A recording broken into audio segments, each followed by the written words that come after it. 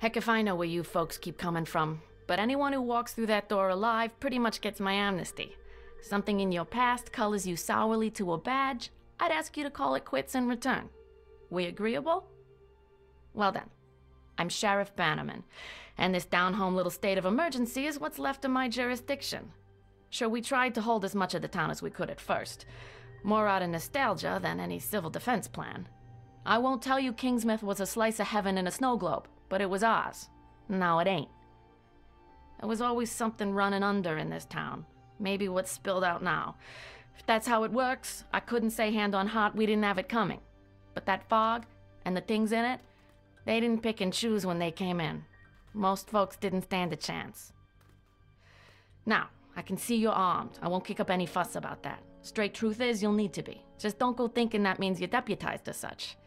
Heaven knows if there was ever a time and a place for the right to bear 'em, you're looking at it. Henry has his word of God, that Roget woman has her crystal ball, and Norma out on the point's got a 12 gauge. My money's on Norma.